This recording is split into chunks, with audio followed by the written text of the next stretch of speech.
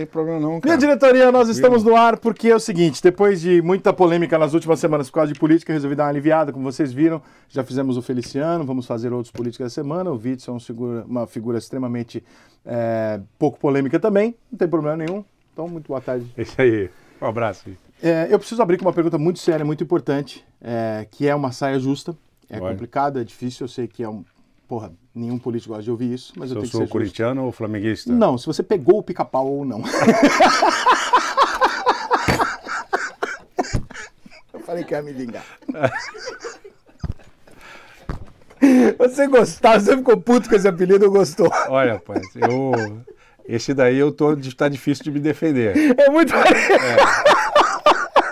Dizem que eu torturei o pica-pau, etc. É, porra, É, não se faz é, não isso com alguém que a gente é. ama, cara. Isso aqui é o seguinte, gente, antes de começar, ele fez um bullying aqui comigo por causa do meu time. Aí eu falei, segura que eu vou me vingar. Você é Flamengo, né? Rapaz, o Flamengo entrou no meu coração. Quando eu cheguei aqui no Rio de Janeiro e comecei a acompanhar o futebol carioca de perto, né?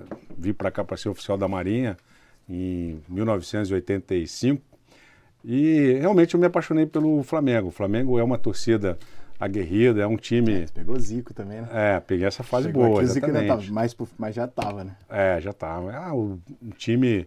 é, o Flamengo sempre foi um time que, que causou grandes emoções e eu aderi à torcida do, do Flamengo. Tenho minha carteirinha né, de sócio do Flamengo, com cabelo ainda. Mostrei para a galera aí. E, e quando eu assumi o governo do Estado, curiosamente, o Flamengo ascendeu, ganhou Libertadores, ganhou a Tríplice, quase ganhou o Mundial. Então, é, nós tivemos aí uma, um momento sorte de glória. Eu sou pé quente. Olha, eu fui agora no. no, Vou levar ele no pra São Paulo, ver se ele dá sorte pro São Paulo. tá? Ô, Rico, eu fui, eu fui lá no jogo do Flamengo e, e Goiás, tava 4x0. Eu fui embora, ficou 4x1. Não, não podia Tá na sair. cara que é, isso. Na cara. Porra, Dorival. Para, Dorival, de querer. Vou escalar zagueiro, vou trocar. Nada, não que trocar nada. vídeo lá, Olha o vídeo na arquibancada. Botou o vídeo na joga. arquibancada, o Flamengo decola. É. Entendeu? O Flamengo decola. Gente, esse canal aqui vai decolar depois dessa entrevista. Eu não Então, tenho é, dúvida disso. Pode é, ter certeza que. Ah, não, mas aí você tem que mudar de time. É, não, Aí vai decolar. com o mesmo número de seguidores, então. É, aí vai decolar. Tudo bem, eu vou ficar assim. Witzel, o que você achou do debate ontem? Olha, importante para a democracia é a troca de ideias. Eu acho que o eleitor tem que avaliar os candidatos. É que não tem, né? É troca de ofensa, aquilo não é troca de ideia. Al- Algumas teve, teve alguns momentos de boas propostas, eh, de boas ideias, falando né, sobre a questão econômica, geração de emprego, mercado internacional, balança comercial. É evidente que há muita troca de ofensa e acusações, quando na realidade isso tudo é uma cortina de fumaça, né?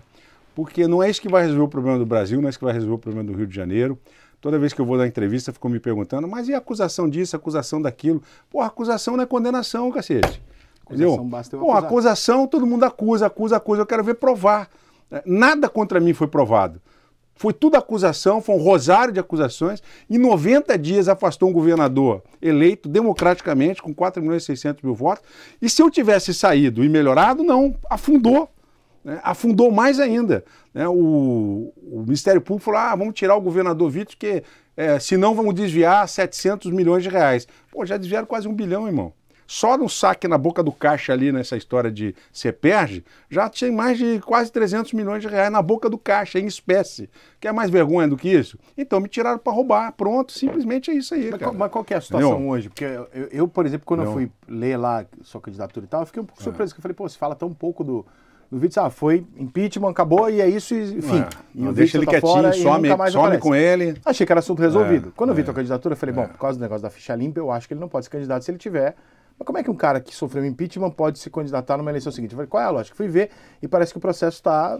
É, o processo de impeachment é nulo. É, né? ele- ele não vai- não vai- você ficou não fora, tem mas não- efeito. É, o processo de impeachment é nulo. Por quê? É, existe um prazo para você fazer o processo de impeachment. né, e teria que ser de 20, 120 dias. Estou falando do ponto de vista processual, né? Tá. Existem outros problemas materiais ali dentro. É, 120 dias. E o prazo foi de 250 dias, até porque o processo era complexo, precisava ter um amplo debate para poder a população saber efetivamente o que aconteceu. Porque é, nada foi comprovado. no meu governo não provou um centavo de público, de dinheiro público, um centavo não se comprovou. Não tem um extrato bancário que mostre, pô, esse dinheiro saiu dos cofres públicos e foi para a conta de alguém. Não tem um extrato, não tem uma prova, não tem nada, é só falácia, é só uma, uma, uma, uma narrativa do Ministério Público que não tem nenhuma prova e se tivesse investigado, não era nem para receber denúncia. Então o que aconteceu foi um golpe de Estado. É, os deputados que perderam a eleição para mim né, assumiram, né, um, um, é, fizeram junto com o vice-governador né, uma narrativa e essa narrativa foi para o Ministério Público e fizeram meu afastamento. No final das contas, minhas contas foram aprovadas né? E eu... No primeiro ano tinham sido reprovadas, né? Não, foram aprovadas. Primeiro e segundo primeiro... ano. Mas qual que foi? Não, não teve uma lá Não, não teve, não, não teve nenhuma conta reprovada. Todas as minhas contas foram aprovadas. Não, suas, do, do, do não teve um negócio Os do dois anos. Ano? Não, todas foram aprovadas. o Tribunal de Contas apontou algumas inconsistências. Né, mas inconsistências que não foram suficientes para reprovar as contas. Então as contas foram aprovadas. É, na verdade, a gente é, tinha um governo que estava dando certo, tinha, tinha 60% de aprovação, e os deputados é que não estavam gostando do meu, do meu governo. Não todos, mas a grande maioria. Eu implantei o sistema eletrônico de informações, significa isso. Você não pode fazer uma licitação que não esteja no sistema transparente para todo mundo. Mas essa galera contra você inclui seu vice? É o maior traidor da história é esse cara aí. Infelizmente. Esse é traidor, ganancioso, mau caráter. É, infelizmente, uma pessoa que não merece o mínimo de credibilidade. Por que, que você chegou nele? Como é que você chegou nele? Partido, né? Eu não tinha um candidato a vice. Ele? Não, não conhecia. É, Para mim, ele era um cantor, boa praça, gospel, né? um sujeito que orava, ajoelha né? e, e se diz cristão. Mas o que a gente vê é que é um mau caráter. Né? E vários são já as demonstrações de mau caratismo. Né? Ele, ele, ele autorizou esse saque na boca do caixa do CEPERJ. É, são 500, são, hoje são 300 milhões de reais na boca do caixa.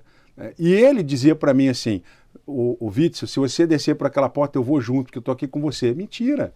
Ele estava montando o secretariado das minhas costas. Ele já tinha sinalizado para os deputados, falou assim, ó, se o Witzel não está dando, eu vou dar em dobro. Agora mesmo, exemplo, vou te mostrar como é mentiroso. Mentiroso. Ele mente e as pessoas acreditam no que ele fala. Eu quero você, ó, taxista. Ele acabou de falar, algo que não é permitido você fazer esse tipo de promessa no meio da campanha. Ele está é, prometendo para os taxistas que vai dar um financiamento de 80 mil reais para é, pagar com um período de carência de 12 meses, financiado por 60 meses sem juros. Então o taxista está achando que vai dar o táxi para ele de presente. Mentira! porque não tem esse dinheiro e a forma que ele está fazendo não pode ser feita, é ilícita. Você não pode dar o dinheiro que tem hoje para 1.500 táxis.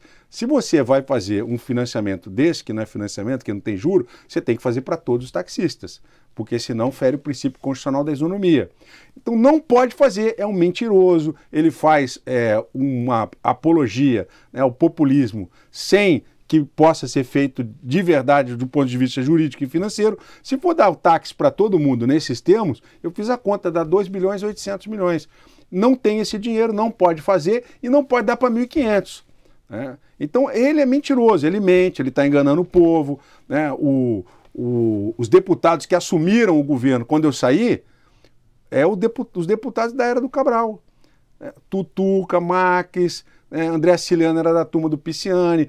Eu estava colocando rédea curta. Implantei o sistema eletrônico de informações, que é um sistema que dá transparência às licitações.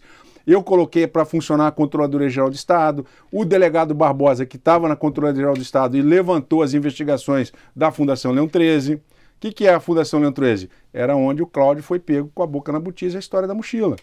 Né? Por que, que alguém vai fazer uma reunião com um empresário com a mochila nas costas com um gol, se ele tinha estrutura de segurança de Estado? É totalmente é, ali é, vamos dizer, disfarçado, disfarçado, sobe no elevador com a mochila, desce com a mochila cheia e entra num gol. Se a estrutura do Estado, para ele, não é gol. Ele tem um carro é, com segurança, com escolta, naquele dia ele estava disfarçado. Então, as, todas essas situações que envolvem o vice-governador são situações materialmente comprovadas e nada é feito contra ele. Por quê? É a pergunta que não quer calar. Né? Ele não incomoda o sistema e eu incomodo? Ele faz o que eu não faço, é isso que a população tem que saber. Né? E ele se diz de direita, mas está fazendo campanha para o André Ciliano, que é de esquerda. Então, se o cara que é de direita faz campanha com um senador que é de esquerda, esse cara é um puta mentiroso, irmão. Esse cara é um canalha, não tem vergonha na cara. Né? Esse sim merecia virar um pica-pau. Entendeu? Esse sim dizia ser um pica-pau. traído por ele. Não, olha só, Rica, não sou eu o traído. Traído é o povo do estado do Rio de Janeiro. Não, mas você pessoalmente se considera eu, traído por ele. Eu, eu não sou uma pessoa física. Eu represento 4 milhões e 600 mil eleitores que votaram em mim, não votaram nele, ninguém sabia quem era. É, votaram em mim para governar o Estado que estava dando certo. A polícia na rua, é, a, o policiamento ostensivo ampliado, porque eu botei dinheiro na polícia militar. A polícia militar já perdeu um bilhão desde o início do meu governo, dos 2021 e 2022, tiraram um bilhão da polícia. Já está faltando viatura na rua, está faltando bateria para botar nos carros, manutenção. Lá em Nova Iguaçu eu vi um veículo, um Corolla, totalmente já sem manutenção, batido, por dentro já totalmente é, o, o, banco do carro já totalmente rasgado, porque aquilo né, tem que ter manutenção. Então a polícia está ficando sucateada de novo, não fez o concurso público para mais 5 mil policiais, consequentemente você vai ter deficiência de colocar homens na rua. A Polícia Civil, que estava tendo concurso, paralisaram o concurso. Quando eu assumi o Estado, a Polícia Civil não tinha papel higiênico. Por isso eu extingui a Secretaria de Segurança Pública, para que a Polícia Civil tivesse autonomia para ter internet, para fazer a investigação, para eles poderem organizar a investigação, aumentar o número de delegacias de atendimento à mulher, aumentar o número de delegacias de homicídio. O que dá efeito no combate ao crime organizado é a Polícia Civil ter rapidez para poder investigar. Hoje, de cada 10 inquéritos, só um tem solução. O que nós queremos? Que sejam nove inquéritos. Mas para isso tem que ter investigação. Para isso você tem que ter a vara de combate ao crime organizado, a lavagem de dinheiro funcionando, como você está vendo. Nunca se prendeu tanto no Rio de Janeiro, porque eu dei essa, é, essa estrutura que hoje está funcionando. Né? E por que, que me tiraram? Porque ia chegar em alguns políticos, em alguns deputados estaduais. Né, que sempre tiveram de, de metido forma, com crime organizado. De forma resumida e, é. e enfática, o que você está dizendo é que você fez um sistema de caça ao crime organizado no Rio de Janeiro. Isso, exatamente. Que começou a chegar em gente muito grande. Exatamente. Grande de dinheiro, porque na verdade, né? Isso. E aí isso chega perto dos políticos que têm lá seus relacionamentos com crime organizado e aí eles fizeram um golpe para tirar você para ver se parava e interrompia isso. E interrompeu. Interromperam. Interrompeu. Então as prisões que a gente está vendo hoje aí de grandes, é, de grandes nomes aí do, do do crime organizado e tal, elas, elas têm relação com o sistema que você criou, mas não com o fato de você estar tá mais lá. Ou seja, o sistema continua funcionando. O sistema continua funcionando, mas atingindo é, uma, uma, um crime organizado que não tem prerrogativa de foro. Né? O crime que tem prerrogativa de fogo está paralisado. Por que, que as investigações contra Bacelar, André Ciliano, Cláudio Castro foram paralisadas? Está paralisado. Fui lá para o STJ, o STJ em 90 dias me afastou. E o Cláudio Castro já está sendo investigado há três anos. Né? Por que, que eu fui afastado com essa agilidade? Eu não estou falando do STJ, estou falando do Ministério Público Federal, que tem que pedir isso para o. Quem investiga não é o ministro, é o então, procurador. Então, então imagina-se que o então, Ministério Público esteja também nesse jogo? Tem que ser. Eles têm que responder por isso, né? Por que, que a Procuradora da República me é, pediu meu afastamento em 90 dias e até agora não fez nada. Em relação a André Siciliano, Cláudio Castro, Bacelar, essa gangue toda que está aí tirando dinheiro da boca do caixa. Alguma coisa está errada. E eu falei uma vez isso para um interlocutor que levou o presidente Bolsonaro. Eu falei assim: cuidado com essa procuradora da República, porque ela está atingindo todos os governadores que são base do presidente. Ela foi em cima de mim, ela foi em cima do Moisés, ela foi em cima do Wilson Lima. Mas você, quando caiu, você já não era mais base do presidente? Eu sempre, olha só, eu sempre atuei de acordo com a política governamental do presidente Bolsonaro. Nós você fomos... com ele pessoalmente? Aí. Não, a questão, a questão é... A nossa relação foi envenenada. É, alguém quis nos distanciar, inventando essa história de ser candidato a presidente. É, eu sempre tive uma boa relação com ele. É, sei que ele gosta de mim, eu também não tenho mágoa em relação a ele, e nós temos que pensar no Estado. A nossa eventual relação pessoal que esteja ou não bem não pode interferir naquilo que é interesse do Estado. Nós não temos como caminhar com a esquerda. Nós não temos como fazer uma política de, eh, de estatizante como a esquerda quer fazer. Ela quer estatizar tudo, quer mexer na reforma trabalhista, que é, hoje está ainda em. Né, nós estamos ainda vendo os efeitos da reforma trabalhista, já quer desfazer a reforma trabalhista, quer voltar a ter sindicato recebendo né, o, o valor lá da contribuição sindical para poder ter os sindicatos na mão e nas mãos. E a esquerda quer aparelhar o Estado. Por isso que eles gostam de estatal. Petrobras, SEDAI. A esquerda né, quer desfazer a concessão da SEDAI porque eles querem aparelhar as empresas como sempre fizeram. Então nós não podemos ter esse tipo de comportamento. Então as políticas é, econômicas que o Guedes é, tenha alinhado são as mesmas nossas. Eu fiz a desestatização da SEDAI. Eu investi na segurança pública para fortalecer o combate ao crime organizado. Nós somos eleitos, eu e o Bolsonaro, na onda do lavajatismo.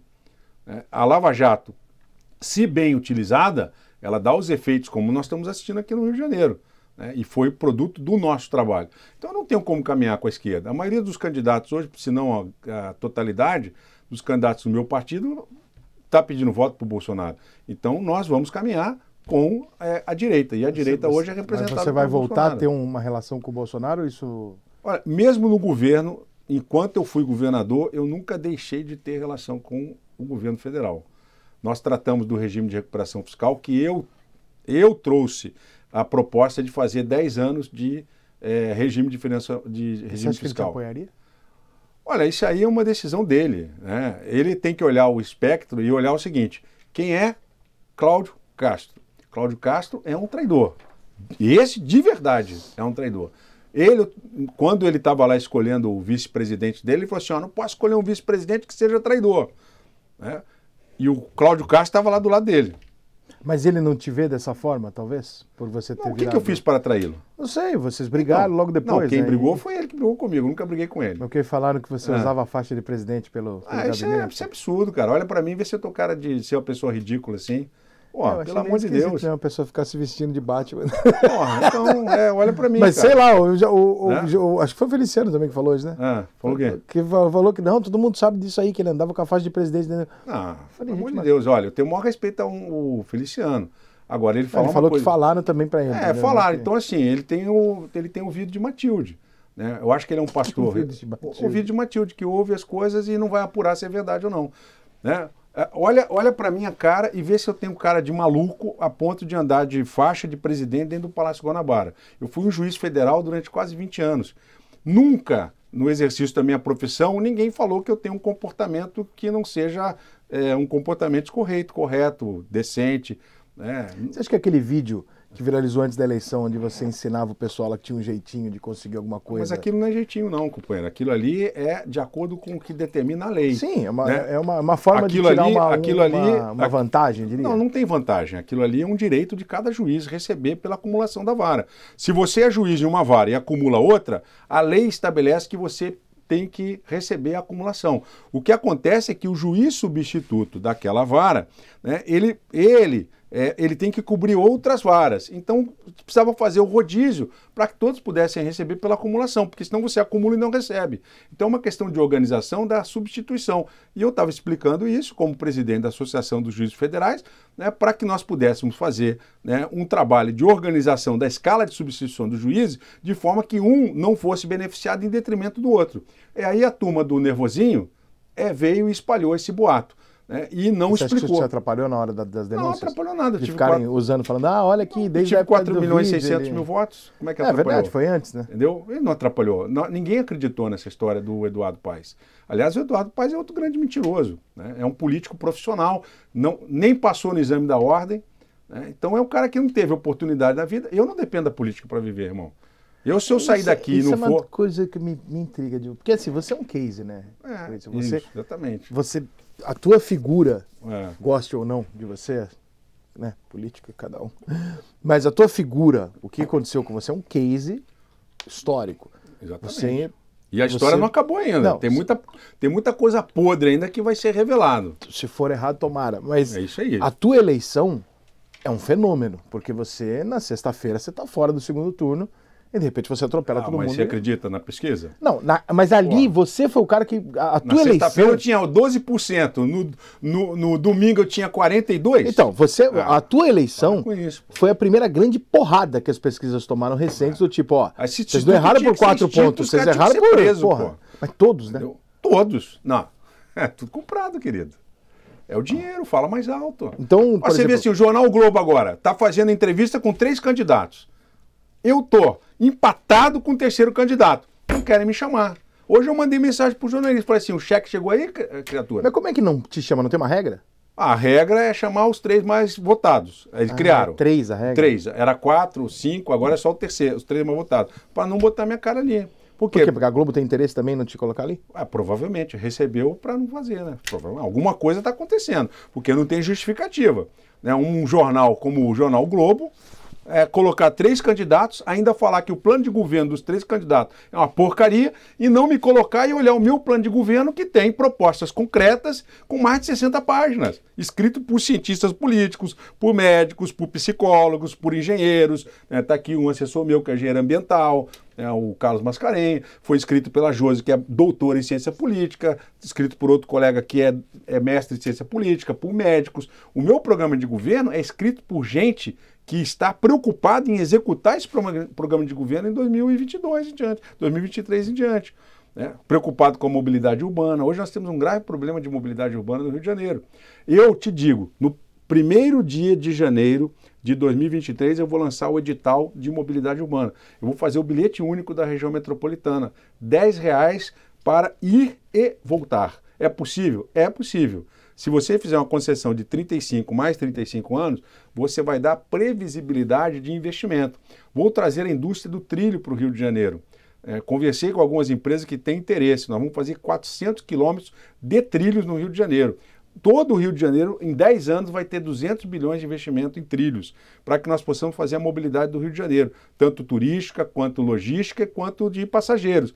E as empresas de ônibus, né, o empresário de ônibus não vai ser prejudicado, porque no estudo de impacto ambiental, nós vamos fazer com que esses, motori esses é, motoristas de ônibus, cobradores, eles sejam readaptados para essa nova realidade de mobilidade urbana que nós vamos ter. E as empresas de ônibus farão parte desse, dessa mobilidade urbana. Ninguém vai perder. Nós vamos integrar todos e aí sim a barca não vai ter prejuízo. né? Nós vamos fazer a linha 3 do metrô, vamos resolver o problema do buraco da Gávea, porque essas soluções não são simples. E por que, que não consegue fazer, é, não consegui fazer? Primeiro que o meu governo foi interrompido. Eu fiz a da SEDAI. A da SEDAI foi né, o maior investimento em saneamento da história do Brasil. E nós fizemos. E acabei com o cartel dentro da SEDAI. Acabei com a bagunça que existia na SEDAI. Ações trabalhistas milionárias, só o passivo da SEDAI trabalhista são 3 bilhões. Então eu fui arrumando, fui consertando. O Rio de Janeiro estava né, na merda em 2018 e agora nós estamos vendo o Rio de Janeiro esbanjando dinheiro né, pelo ladrão, soltando aí nos caixas eletrônicos. Então o governo né, que estava dando certo, Esse dinheiro é da pandemia? esse dinheiro é da SEDAI. Né? Então, o, que, o, que, Todo. o que entrou de dinheiro forte no Rio de Janeiro, ao contrário do que dizem os, os, defe- os defensores do governo federal na, na pandemia, Ah. não é porque o dinheiro mandado pelo, pelo governo federal para a pandemia em cada cidade e governo e, e- estado do Brasil que acabou corrigindo os, os déficits desses governos, não é esse dinheiro que salvou no Rio, foi da SEDAI. É, não, não, olha só. O, o- na época da pandemia, nós tivemos perdas pela redução da atividade econômica. Sim, natural. Que, o que a, a, a medicina dizia é que se nós não fizéssemos o isolamento social, nós íamos empilhar corpos na rua. E as pessoas estavam preocupadas em ir trabalhar e se contaminar. E seria uma pande um pandemônio, né? Seria um pandemia, seria um pandemônio. Então, para evitar um cataclisma, uma, uma crise social, nós eh, tivemos que intervir. Para isso serve o Estado. Então, nós fizemos isolamento social e os Estados tiveram perda. E essas decisões eram feitas entre você e o Eduardo? Ou Qual? só do o, o Paz? Não, ele não era o capital? prefeito, o prefeito era o Crivella. Desculpa. É.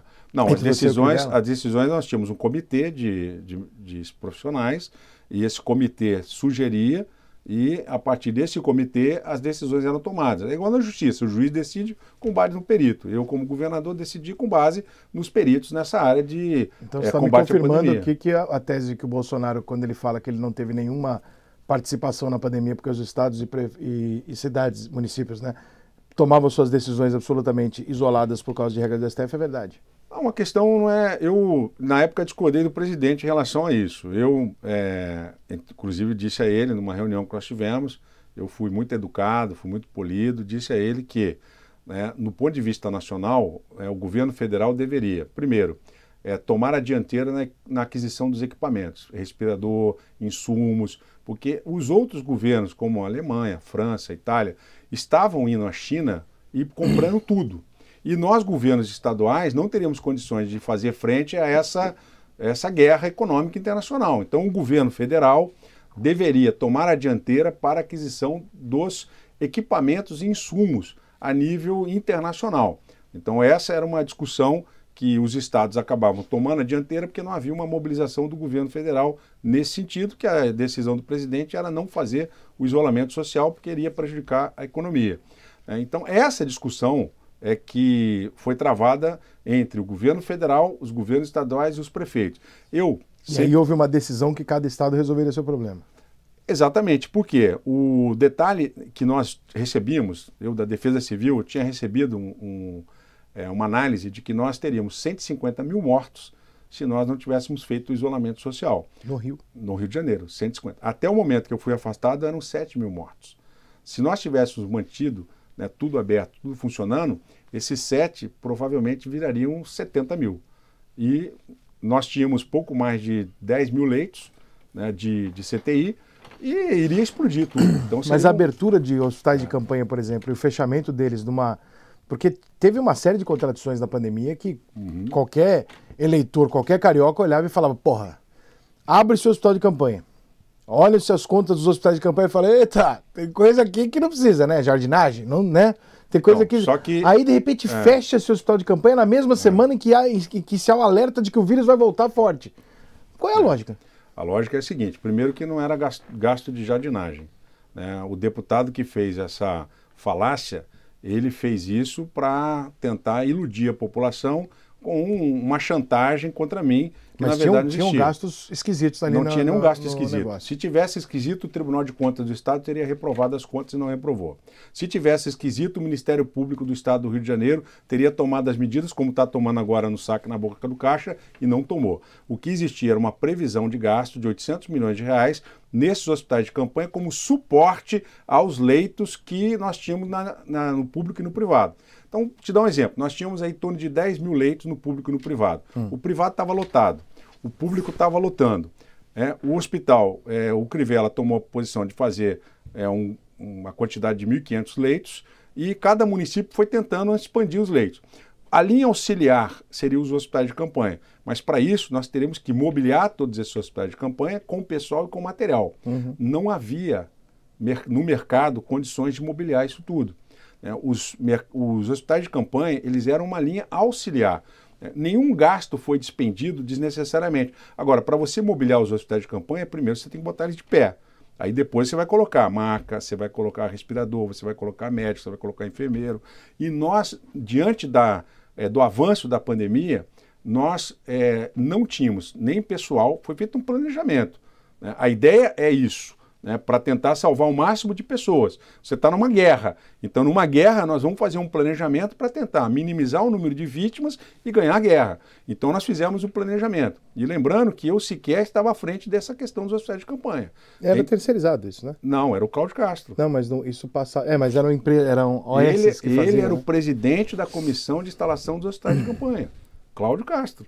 Né? E isso o Tribunal de Misto sequer apreciou, porque se tinha alguém que deveria ser responsabilizado né, pela instalação ou não dos hospitais de campanha, porque eu como governador eu, sou, eu decido estrategicamente. É, ó, tem que fazer assim, tem que fazer assado. É igual o presidente Bolsonaro. Se acontecer alguma coisa no Ministério da, da Educação, ele tem responsabilidade? Quem o ministro recebe ou deixa de receber? Não temos responsabilidade. Quem o secretário recebe, deixa de receber. O que ele fala? Se as contas ou as licitações tiverem indício de irregularidade, cabe à Controladoria Geral do Estado apurar, cabe ao Tribunal de Contas apurar.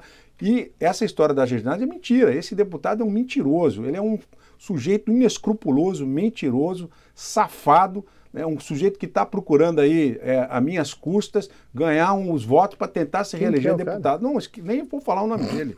Se depender de mim, esse cara vai ser é, expelido da política carioca, porque esse cara é um câncer na política carioca. O Ele inventou aqueles é um sujeito que era, era, era comunista. Antes de ser filiado ao partido, para se dizer bolsonarista, ele era comunista.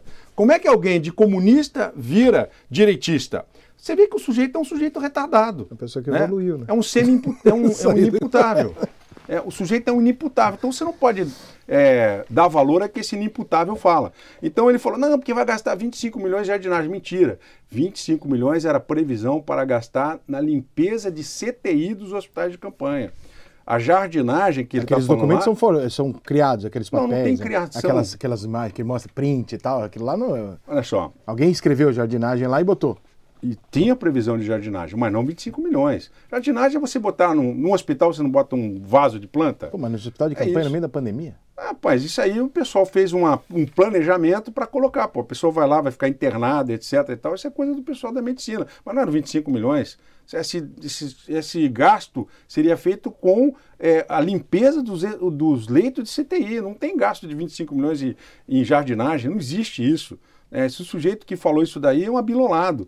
É, tanto que não, o Tribunal de Contas não investigou nada disso, nem foi investigado pela é, Polícia Civil, nem pela Polícia Federal e nem pelo Tribunal de Contas. Então nós não, não temos absolutamente nada disso.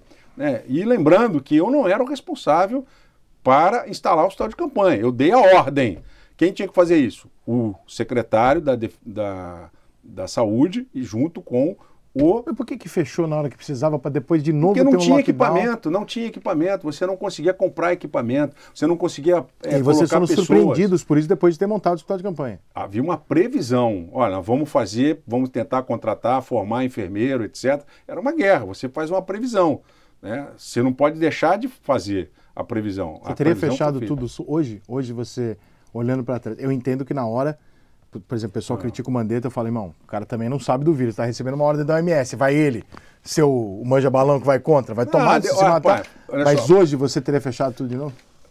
Quando o time vai mal, aparece um monte de técnico. É. Não, porque eu ia botar o Neymar aqui, porque eu ia botar o Gabigol ali. Não, porra, comigo, porra, o Flamengo ganhava essa porra. Todo mundo vira especialista em Porra, especialista. A mesma coisa é ser governador. Né? Ninguém quer submeter ao sufrágio universal. Vai lá botar a cara, tapa e falar assim: vota em mim porque eu sou competente, vou fazer, vou fazer essa porra acontecer. Né? O cara diz: não, porra, vamos lá. porra. Tem um monte de técnico, né, de, vamos dizer assim, é, engenheiro de obra pronta. Mas você ficava à noite sem dormir pensando no que fazer? Porra, Era muito dramático para você? lógico, porra. Porque Eu- você sabia não, que as vidas iam, iam- Covid, vai- ia cair na tua né? bunda, não adianta. Hã? Tudo isso está na tua bunda. É, é. Então, você sabe, você é governador, É. se no Rio de Janeiro der merda e no outro estado não der, é você que paga Sim, o pato. E aqui deu certo, porque n- quando, 20 de agosto, 20 de agosto, o Rio de Janeiro era um pontinho azul e os estados tudo vermelho. Nós fizemos o melhor controle de isolamento social, tanto que o Rio de Janeiro está recuperando melhor a sua economia. Hoje, por exemplo, Rio- a cidade do Rio de Janeiro está com um dígito de desemprego. O Rio de Janeiro voltou novamente é, a ter grandes eventos internacionais. Né? O impacto da desorganização da polícia militar ainda não está sendo sentido. Está aos poucos, avançando a criminalidade, as barricadas, a guerra nas, nas favelas, voltou a acontecer, voltou a acontecer assalto de fuzil na rua. Então deixamos dois anos muito bem organizado e com mais um ano de intervenção, e em dois anos já está ficando desestruturado novamente. Batalhão tem deputado que é dono, delegacia tem deputado que é dono, nomeio comandante de batalhão, nomeio delegado. E aí começa aquela, aquela é, é, sacanagem de novo. Então o Estado que estava organizado, eles estão desorganizando. Mas nos bastidores assim, de uma pandemia, sua, sua esposa está aqui. É. Eu fico imaginando é, co- como é que é pessoal, aí é mais do lado pessoal, minha curiosidade. É. Pô, tu vai chegar em casa, vai dormir, você tem que tomar uma decisão amanhã, eu fecho a cidade ou não fecho a cidade. Sim, mas eu sou acostumado a tomar decisão. Mas essa decisão você federal. nunca tomou na vida. Ah, tomei sim. Tu fechou a cidade aonde antes? Se, pandemia, se fosse. Não, olha só. Eu já teve- tive que tomar decisão para paralisar o PROVON no Brasil inteiro. Não, mas pô, tu fechar uma cidade porque as pessoas podiam morrer é uma coisa muito atípica. Sim, é muito atípico. É mas muito- eu, é eu muito- sempre é muita responsabilidade. Eu sempre fui preparado a tomar decisões. E você não Olha se abalava com isso. Eu fui preparado para dirigir time de primeira divisão. Então tava, ah, eu estava tranquilo no que eu estava fazendo. Né? Se você pegar um técnico que nunca dirigiu o time de primeira divisão e botar para dirigir, o cara vai fazer a lambança, certo? Então eu sempre fui, eu me preparei a vida inteira né, para poder ser juiz federal, né, estudei é, como é que funciona a máquina administrativa e tomar decisões. Eu sempre tomei decisões na minha vida. Então ali nós estávamos fazendo a coisa certa. Não tinha outra decisão a ser tomada. E o Rio de Janeiro hoje está tendo reflexo do bom governo que nós fizemos. Está né, tá retomando novamente é, o, Rock in Rio de 2019 foi o Rock in Rio de maior número de público da história do Rock in Rio. Um milhão de pessoas circularam aqui durante uma semana, 100% de ocupação na rede hoteleira. Essa memória do Rock in Rio 2019 está fazendo com que o de 2022 seja um sucesso. O Réveillon de 2019 para 2020 foi histórico para nós no Rio de Janeiro. Então o Réveillon de 2022 para 2023 vai ser histórico para o Rio de Janeiro. Né? O, o, meu retorno ao governo do Estado está animando até o Flamengo, voltou né, a ganhar, porra. Pô, tá aí, ó, já tá, tá no, no, no cangote do porco, entendeu? Então, cara, assim, o campeão voltou. Olha lá. Ai, meu São Paulo, nem para ter tirado essa, para poder rebater essa gracinha, tomei de três da primeira ida, já não tem mais o que fazer. É, é faz, faz o que, né? É triste, mas é real. Você sabe mas que... o São Paulo já teve um momento épico, né? A gente São volta, Paulo já foi volta, um momento são, São Paulo teve num momento épico. Muitos momentos três, épicos. Três Libertadores, uma atrás da outra, gente, campeonato pô, mundial. Isso aí para nós é. O que vocês chamam de sonho, eu chamo de história. É, história, né? É história. Mas infelizmente né, a história agora está sendo feita pelo Rubro Negro, né? Depois que escrever, a gente conversa. É, isso aí. você sabe que a tua imagem, é. para quem é por exemplo, a gente sabe que o Rio de Janeiro, não sei se você vai concordar comigo, mas a gente que, especialmente a gente que não é daqui, né? Que a gente, eu também sou de São Paulo. Né? A gente vem para cá e a gente se apaixona pelo Rio. É. é um lugar muito foda esse aqui. É verdade. E aí, quando você passa, tô há 10 anos aqui, quando você passa 10 anos aqui, alguém te pergunta, fala assim, e aí? Eu falo, cara, eu continuo achando isso aqui o melhor lugar do mundo. Só que tem um é. porém. O Rio de Janeiro é a única cidade do Brasil onde não se discute que quem manda é o criminoso. É isso mesmo, e foda-se. É, o carioca é eu ser eleito, isso. né? O carioca aceita isso culturalmente. começou a mudar. A Mas é, é, uma aceitação do carioca disso. É. Porque ele confunde, a cultura do Rio de Janeiro confunde o benfeitor com o bandido, com o contraventor, o com o criminoso. Opção, né? é, uma, é, uma, bagunça, você Eu não sabe o, exatamente. O carioca não tinha opção. Né? O carioca via assim, a política é sempre aquela polícia militar que tinha uma, uma visão, né? a população tinha uma visão ruim da polícia nos dois primeiros anos de governo, eu mostrei que a Polícia Militar tem dignidade, tem honra. Né? Eu comecei a valorizar os nossos policiais, eu comecei a mostrar que a Polícia Militar do Rio de Janeiro é capacitada para enfrentar o crime organizado e eu mostrei para o policial como ele tem que agir. Né? Bandido de fuzil não tem jeito. Em qualquer lugar do mundo é terrorista. Não, não. O policial não pode ter dúvida. O senhor está errado, você é estudante Entendeu? de guarda-chuva. Ah, tá. Você não pode. Eu vi o Tarcísio lá em São Paulo sendo é. sabatinado por uma jornalista lá e falou assim: então quer dizer que se o bandido apontar uma arma policial, ele deve atirar ele? Sim. Aí ela falou assim: para matar? Aí ele: é para se defender. Por favor, responda a pergunta para matar. O que, que ela esperava? Que a resposta fosse o quê? Não, mas o Tarcísio não. O cara é... aponta uma arma para você, é. você faz o quê? Você fala para ele: para que eu vou tacar um livro. Mas olha só, não tem que apontar. Se ele tiver de fuzil, atira colo ele é uma ameaça iminente, está no Código Penal desde claro. 1940. É ameaça iminente, tem que ser abatido. Ponto. O recado está dado. Bandido de fuzil, é melhor se converter, pega uma Bíblia, vai orar, nós vamos te salvar, vamos te ajudar, a gente vai recolher no programa Resgate da Cidadania. Agora, o recado está dado. Né? Bandido de fuzil é terrorista, vai ser abatido pela polícia. É assim em qualquer lugar do mundo. Então, nós trouxemos para o Rio de Janeiro modernas técnicas de investigação, né, com equipamentos eletrônicos. Eu fui a Israel, eu fui a Londres conhecer como que a Scotland Yard faz o trabalho de investigação do terrorismo e tudo isso nós começamos a trazer essa cultura para o Rio de Janeiro. Nós montamos o primeiro centro integrado de comando e controle no Comando Geral da Polícia Militar.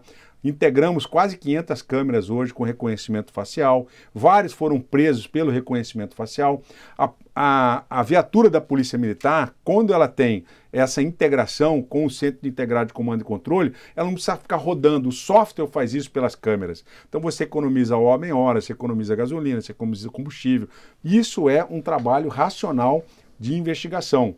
Quem fala que a polícia tem que ter inteligência não sabe nada de segurança pública, porque a inteligência não está no Código de Processo Penal. O Código de Processo Penal tem provas e você tem que produzir provas. Como polícia, tem que produzir provas. E a câmera é um meio de produção de prova.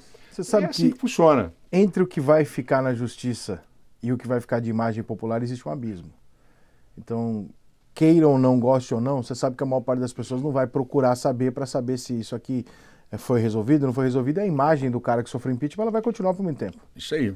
Você vai fazer o que o Roberto Jefferson fez, ou seja, para limpar a minha imagem ou para tentar que as pessoas Não, o vejam Roberto isso? Jefferson foi condenado. eu vou né? sair dando porrada e vou contando um monte de. Vou sair denunciando todo mundo? Não, olha Passa só. na tua cabeça? Olha só, o Roberto Jefferson foi condenado. Sim, sim. Eu não fui condenado. Não, eu tô falando para a imagem popular, não, não o que está É. processualmente. Não, mas entendeu? a população, eu estou na rua, a população já, já percebeu que houve um golpe de Estado, que eu fui injustiçado, que eles votaram no governador que não é esse que está aí, e que esse. Que, assim, se você tira um governante e vai fazer melhor do que ele, aí realmente o cara não devia estar lá. Agora, me tiraram para fazer pior. né? Me tiraram para sacar na boca do caixa. Me tiraram né, para poder reaparelhar o Estado com vários escândalos. Escândalo da bola de basquete. Você viu o escândalo da bola de basquete? Não. É, o, a Secretaria de Esporte, o secretário da Secretaria de Esporte, que ia fazer a compra, e só não fez porque o SEI é transparente e a imprensa denunciou, ia fazer a compra de bola de basquete de mais de 10 milhões de reais, de 2 mil bolas, que você paga 20 reais no mercado, ele ia comprar por 400. reais Cada a bola? 400 reais cada bola. Porra, é mas ia vir com 400 o jogador da bola? NBA junto? 90 reais na- no shopping, 400 no... É, 90 reais no shopping, 400 reais ia comprar pelo Estado. E sequer eles iam entregar 2 mil bolas, ia entregar 50 bolas. né? Então era nitidamente para roubar. Esse secretário eu demiti. E o 400 Cláudio recontratou. Presta atenção, eu demiti e o Cláudio Traíra recontratou. Eu demiti o cara e o Cláudio Traíra recontratou. Gustavo Tutuca, líder do Sérgio Cabral na Assembleia. Eu saio, ele vira secretário de Turismo. Ele faz uma licitação para colocar 50 milhões em placa nas estradas do Rio de Janeiro.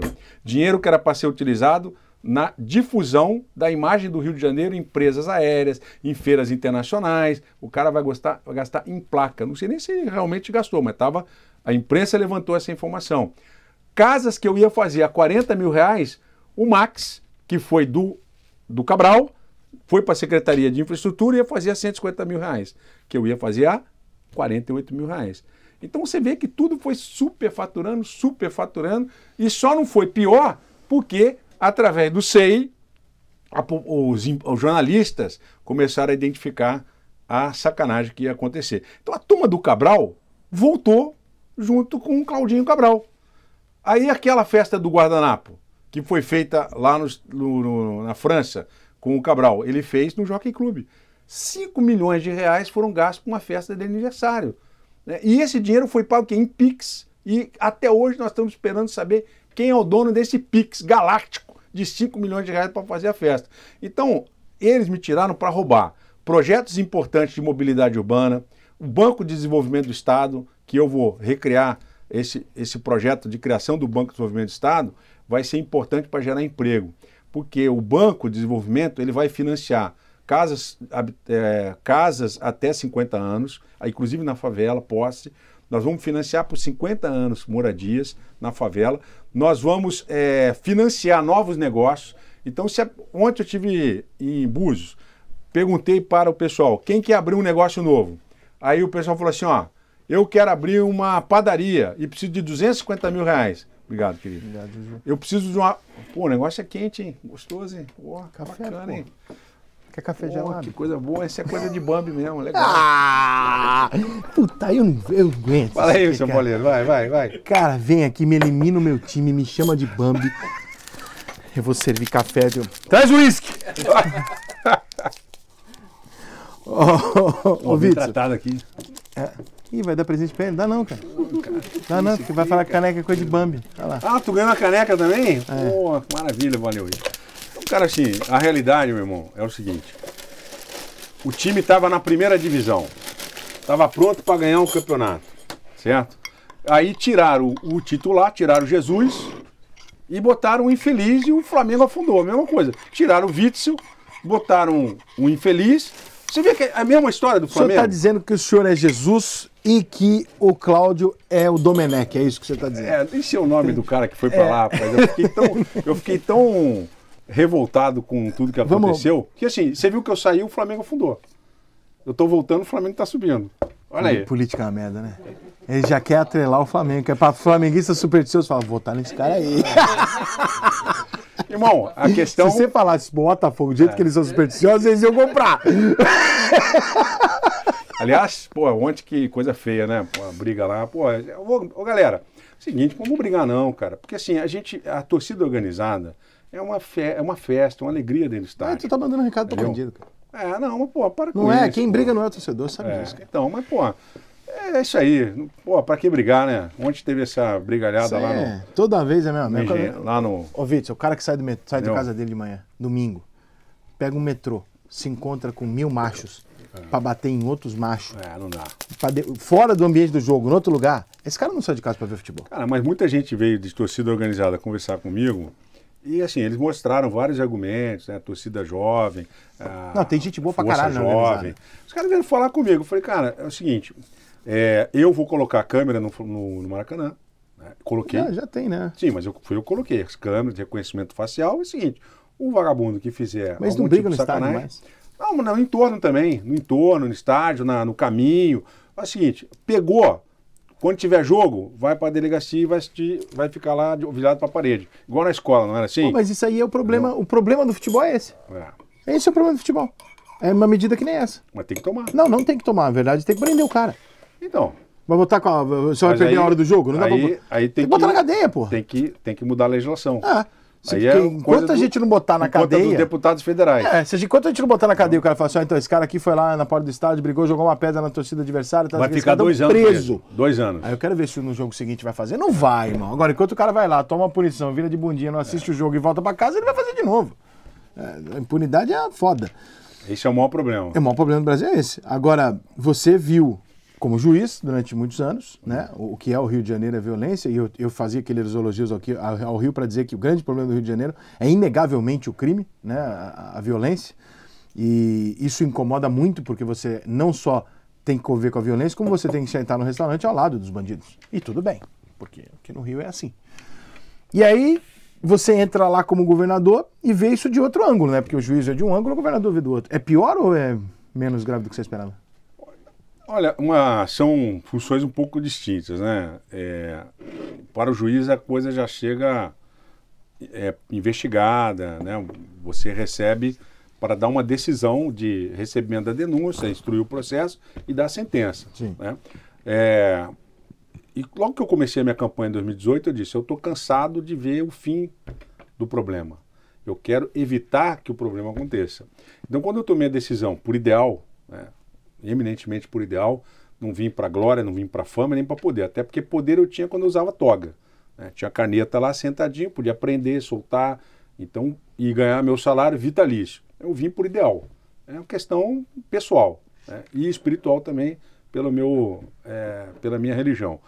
E eu tomei a decisão de ser governador, exatamente porque estava cansado de ver a política sempre sendo feita da mesma forma, né? com é, promessas não cumpridas e desvio de dinheiro público.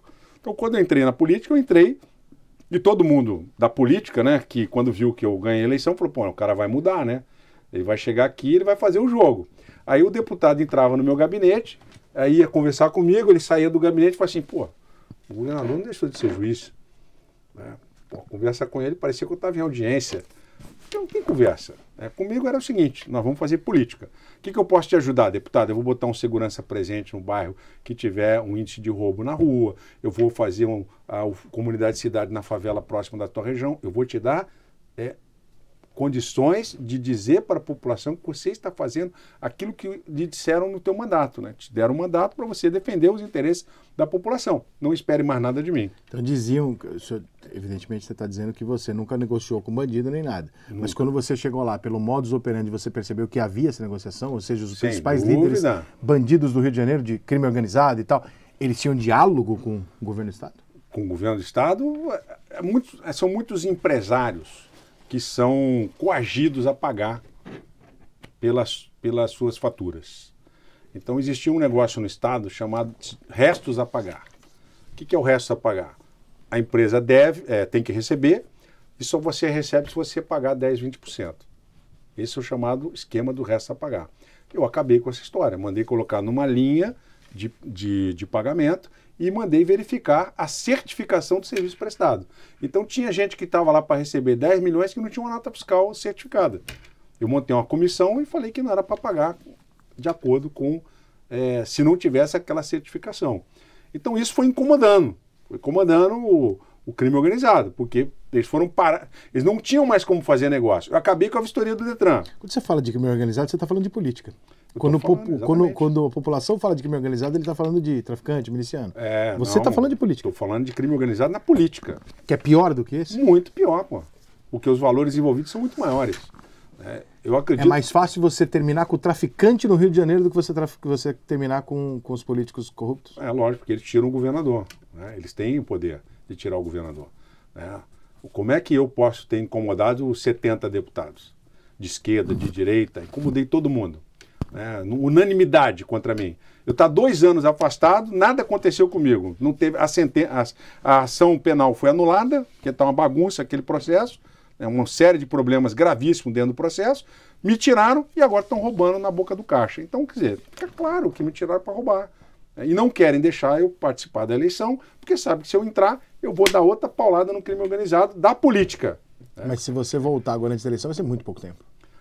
Não, mas isso aí, nós estamos em outubro, não precisa ter, não vai ter nem é, a transição e a gente já assume o governo para o novo mandato. né? E vamos nas urnas Ah, já tá, consagrar contando, já tá contando com o ovo no cu da galinha, entendi. Lógico. Porque, pô, é meio, é meio louco imaginar que. Pô, se você Ah, perguntar o para nego te mim... devolve em novembro. Fala, pô, fica mais um mês aí. Ah, mas é isso, cara. Se o Jesus volta hoje, o Flamengo vai ser campeão mundial, pronto. Entendeu? É assim que funciona, cara. A gente é otimista. Ele acredita. A realidade é essa. Se volta o, ti- o titular, o cara que sabe fazer a coisa acontecer, o time vai ficar lá E o diálogo com o crime organizado que o povo imagina? Ou seja, você viu ou você sentiu que havia anteriormente um diálogo de tráfico, milícia e Então, tal? comigo não tem diálogo. Mas você sentiu que havia e quebrou? Olha, pode ser que sim, havia uma espécie de acordão. né? Quando eu assumi, eu falei assim, não tem acordão. né? Se começar a queimar ônibus na rua, é, e eu descobrir que é dentro do presídio, é solitária. né? Se eu, tanto que praticamente zero ônibus queimado. Aí tivemos um sequestro de ônibus. O sujeito foi abatido. Né? Fizeram Foi aquela, aquela palhaçada. É, ah, o governador comemorando. Comemorei a vida. As pessoas estavam ali satisfeitas com o trabalho da Polícia Militar de ter salvo mais de 30 pessoas dentro de um ônibus que seria queimado. Então comemorei a vida. Tanto que depois eu encontrei o parente do, do, do morto e falei, olha, lamento profundamente pela perda do parente. Agora, ele, se ele não quisesse isso, ele não teria sequestrado um ônibus. né? A pessoa tinha que ter discernimento. Ele estava com o isqueiro na mão. E em cima do ônibus assim tinha frascos de, de PET né, cortado com querosene dentro e ele jogou querosene em cima das pessoas. O sujeito ia colocar fogo ali. Né? Ele ia se matar e ia matar todo mundo. Então, para que, que serve a polícia nesse momento? É eliminar o problema. E o problema grave naquele momento, com reféns, tinha que ser daquela forma resolvido. Então, eu mostrei para o crime que no Rio de Janeiro a nossa polícia não toleraria nenhum tipo de atentado terrorista, seja de que natureza fosse. E fizeram, né, queria- quiseram transformar um ato de glória da polícia militar em querer manchar a minha imagem na população eh, mundial e etc. né? E enquanto nós estamos, estávamos e estamos fazendo um trabalho de redução sensível da criminalidade. Então essa é a realidade. Onde é que você errou? Irmão, olha só, eu respondo sempre essa pergunta né, da seguinte forma: eu, nós somos humanos, a gente erra, Por favor. evidente. A gente você falar que você não cometeu nenhum não, erro, a gente, pô, a gente erra, a gente erra. Agora, é, tudo na vida tem um processo. Eu acho que é um processo meu, um processo do povo do Estado do Rio de Janeiro. Eu acho que aí eu vou levar para o lado espiritual. né? Se você chegar e pudesse perguntar para Jesus assim, pô, cara, tu errou, tu escolheu Judas para ser o teu apóstolo? Pô, tu não acha que você errou não escolher Judas para ser teu apóstolo? Quem falaria isso para Jesus Cristo? Certo? Eu não sou Jesus Cristo. Mas o que eu estou mostrando para você é que a Bíblia nos diz que o que importa não é o fim. Muita gente fala, né? Importa é como termina. Não, porque não termina. né? Nós acreditamos na vida eterna, então não termina. né? para que você tenha vida eterna, é importante que você tenha o processo. É, e a Bíblia fala do processo. É, José foi teve, José teve um sonho. Né? José teve um sonho, sonho de que ele seria governador. E os irmãos, com inveja, jogaram ele no buraco e depois venderam ele para, é, para como escravo. Foi levado ao Egito, foi acusado pela esposa de Potifar de ter praticado com ela atos é, de conjunção carnal e foi preso. E decifrando os sonhos do faraó, ele foi nomeado governador do Egito. Então a história de José, se do sonho até a realidade, é, ele tivesse, ele soubesse tudo que iria acontecer no processo, será que ele é, teria passado pelo processo? Então Deus não nos revela o processo. Deus nos revela o propósito. Qual é o propósito na sua vida? Qual é o propósito na minha vida? Deus colocou no meu coração um propósito: ser governador e ajudar o nosso povo que mais sofre. Tanto que o principal projeto do meu governo é a Comunidade Cidade, que é o resgate da dignidade nas favelas. E começar pelo combate à violência, que é aqui estupra as meninas na favela, copta os jovens na favela, né, causa na vida do trabalhador né, uma desgraça, aqueles fuzis. Então, o meu trabalho é resgatar a dignidade do povo do estado do Rio de Janeiro. Então Deus colocou isso no meu coração. Então, como você fala assim, o que, que você errou? Eu poderia ter feito diferente? Poderia, mas tudo está nos planos de Deus. Né? Em Provérbios, né, capítulo 19, versículo 20 e 21. É que pessoa ateu, então para mim é. É, não, mas eu acho que de tanto a gente. Eu quero passar... saber se você errou mesmo, entendeu? De não tanto. Mas é o que eu tô falando, Rica. É de erro de administração, porra. Não é erro de erro. Puta, não. aqui eu não devia ter tomado essa medida. Aqui, porra, não é possível que todas as medidas que você tomou como governador você acertou. Todas as medidas que eu tomei, eu tomei com, né, com o desejo de acertar. Claro, mas. Inclusive é. a escolha do vice-governador. Exatamente. Entendeu? Mas assim como Jesus escolheu né, um discípulo que o trairia. Ufa, achei que ele ia falar assim como Jesus escolheu o Gabigol e não o Pedro. Eu falar, porra, esquece o Flamengo, hein? pois é. Mas o Gabigol, o Gabigol é meu, meu parceiro, eu gosto dele, está fazendo um bom trabalho aí. E é, assim como Jesus né, teve, escolheu né, os 12 apóstolos, no, no momento que ele foi para ver a cruz, não tinha nenhum apóstolo com ele, todos sumiram. Só João apareceu quando ele estava na cruz morrendo e ele pediu para João cuidar de, de, Maria, da mãe dele. Falou, cuide da nossa mãe, irmão. Então é, é, é um retrato né, de uma realidade que se repete. Em Eclesiastes capítulo 3 fala isso. A história se repete para que nós aprendamos né, o significado da vida, para que nós possamos ter a nossa vida eterna. E a Bíblia, ela fala do processo. A Bíblia não fala do fim, até porque para a Bíblia não tem fim fim para aqueles que não aceitam né, se arrepender dos seus pecados. Primeira pregação de Jesus, está lá em Mateus capítulo 4, versículo 17, ele diz o seguinte: Arrependei-vos, eis que é chegado o reino dos céus. Então o que Jesus nos ensinou é o arrependimento. E do arrependimento a salvação. E é, eu posso dizer para você que tenho pecados, lógico, todos nós temos pecados, mas todos os dias eu me arrependo dos meus pecados. Agora, do ponto de vista concreto, da administração pública, aonde foi que a gente errou? Né? Eu, se errei, errei procurando acertar. Não, isso né? é a escolha, por exemplo, a escolha, por exemplo, do Edmar. Você escolheria o Edmar, um médico, doutor em, em, em medicina, professor da UERJ, diretor do Hospital Pedro Ernesto, major da Polícia Militar, você escolheria. Você sentiu que ia dar merda em algum momento ou foi uma coisa completamente é, surpreendente para você? Quando começaram com investigação, denúncia, você falou, eita, ou você estava sentindo é, que a coisa estava indo? O que eu percebi é que havia né, uma, uma certa é, pressão para me tirar do cargo. Né? Uma investigação de 90 dias não pode tirar um governador. Mas antes de chegar à investigação, não, você já... sentiu que já ali já tinha uma coisa para você. Não, havia um descontentamento dos deputados, de um grupo de deputados contra mim. Havia. Tanto que tudo na imprensa era potencializado contra mim. Tudo era potencializado. Né? Acontecia uma morte vítima de um combate na comunidade de duas, fa duas facções. É, a culpa é do governador. A imprensa né? é parte disso para você? A imprensa é parte disso, lógico. A imprensa é paga. A imprensa no Brasil não é independente. A imprensa no Brasil ela é paga. Né? Nós não temos a imprensa. Poucos são os veículos de imprensa eu que eu considero independente registrar. mas, mas eu entendi, a grande mídia. A grande mídia é tendenciosa. Né? Você veja bem, o Jornal Globo. Por que está fazendo entrevista para três? Se eu não tivesse com 5% na pesquisa, eles iam botar o quarto. Até então, o Paulo é, Ganimi, desculpa se o nome dele está errado. Não, tá certo. É o é, Ganime, né? O Paulo Ganime era o quarto. Tava todo mundo lá colocando. A impressão que dá é que a presença do Paulo é como se estivesse dando a aparência de que há uma disputa democrática. Mas quando entra o Witzel só fica três, porque a disputa passa a ser é, antidemocrática. Né? Porque o Witzel entrando, ele vai. Né? O Witzel é de direita. O Witzel é de direita e outra coisa, a população vai me ouvir. Você está aqui me ouvindo hoje. Estou né? tirando várias dúvidas né, em relação a tudo que aconteceu. Né? A população até hoje está se perguntando: cadê o desvio? Cadê o dinheiro? É, é, muito né? difícil, cara. Cadê o dinheiro, cara? Você, você é um cara Entendeu? de papo reto, então não precisa ficar de frescura contigo. É, é muito difícil fazer, porque assim, normalmente a gente imagina, num cenário honesto, que a gente se informa sobre as pessoas através da imprensa.